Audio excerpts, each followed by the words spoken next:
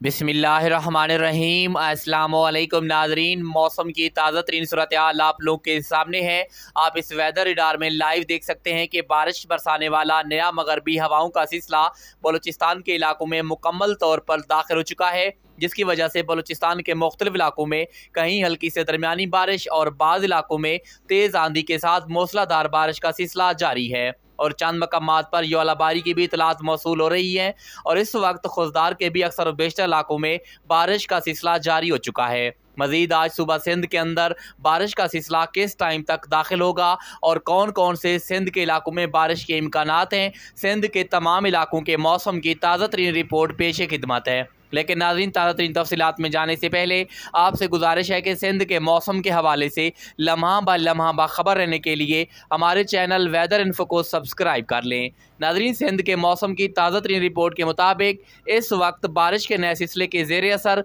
बारिश बरसाने वाले बादल सुबह सिंध की तरफ़ रवा दवा हैं। लेकिन फ़िलहाल सिंध के किसी भी इलाके में बारिश का सिलसिला जारी ना हो सका। उम्मीद यही है कि अगले चंद घंटों तक बारिश बरसाने वाले बादल सुबह सिंध के इलाकों में इंटर हो जाएँगे। इन्हीं बादलों के जेर असर सुबह सिंध के इलाके कराची, हैदराबाद, मीरपुर खास, दादू शादात कोट जैकबाबाद, सखर, लाड़काना, सांगड़, जामशोरो, शिकारपुर, टंडो अल्लाह यार नूरियाबाद, ठट्ठा, नुशहरा, फरोज। इन इलाकों के साथ साथ सुबह सिंध के भी मजीद चंद फ़ीसद इलाकों में कहीं हल्की तो कहीं हल्की से दरमियान दरमियानी बारिश के अच्छे खासे इम्कान बन सकते हैं। बारिश का नया सिलसिला 20 अप्रैल तक वक्फे वक्फे से अपने रंग दिखाता रहेगा और इस दौरान नाजरीन सुबह सिंध के मुख्तलिफ़ इलाकों में तेज आंधी चलने के भी इम्कान बन सकते हैं। मजीद इस हवाले से जैसे जैसे अपडेट्स आती रहेंगी, आप तक पहुँचाते रहेंगे। तब तक के लिए आप देखते रहिए हमारा चैनल वेदर इन्फो।